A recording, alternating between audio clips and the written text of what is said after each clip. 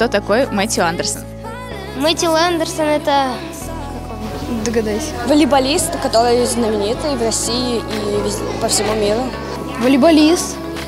Ну это понятно всем. проделал очень сложный путь для своей карьеры, прошел очень много трудностей в его жизни.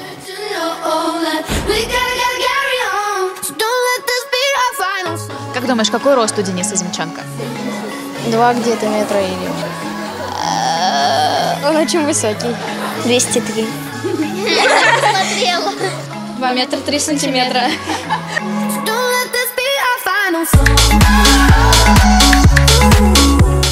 Какой рост должен быть у волейболиста? От маленького самого до самого высокого?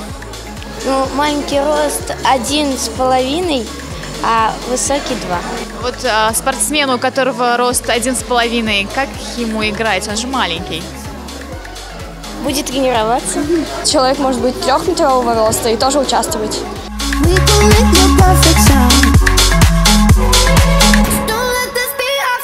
Какие трудности могут возникнуть у спортсмена с таким высоким ростом? Ну, наверное, не проходить в дверь. Ну, нагибаться приходится. Ну, наверное, когда заходишь в квартиру, наверное, ударяется потолок, ну, может быть. Может быть, не, то его ниже. Он может его не заметить. Одни из самых неприятных трудностей – это на некоторые аттракционы, оказывается, есть ограничения по росту не только в меньшую сторону, как для детей, так и в большую сторону.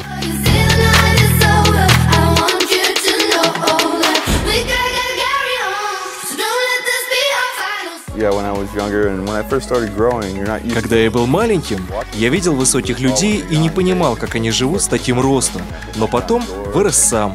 Конечно, первое время я бывало обо что-либо ударялся, но со временем научился совсем справляться. Of course, you have problems with your back, your knees, and like anybody when you get older. Расскажи, понравился симпатичный волейболист? Очень голубые глаза. Да, особенно глаза красивые. Ну, да, По логике, да. Да. А без логики? Тоже, да, тоже. Земчонок пришел к нам в школу, это вообще, это уже, это уже, Это уже праздник это уже достижение. Веселый, забавный, высокий, интересный, общительный. Очень симпатичный.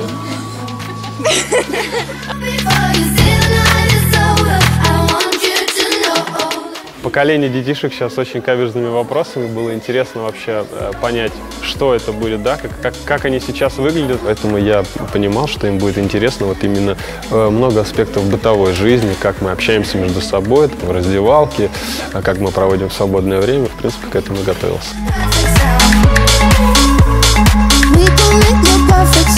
Один вот в городе, вот сначала приезжаешь в незнакомый город, нет знакомых никаких, осваиваться нужно.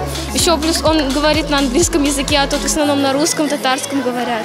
Он даже не видит своих родителей, только щ- если через интернет. И он, наверное, скучает.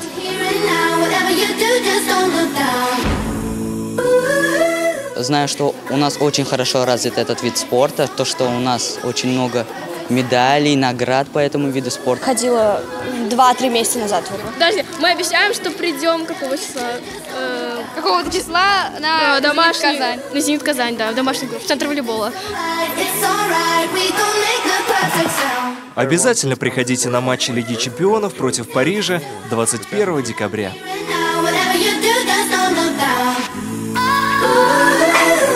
Don't let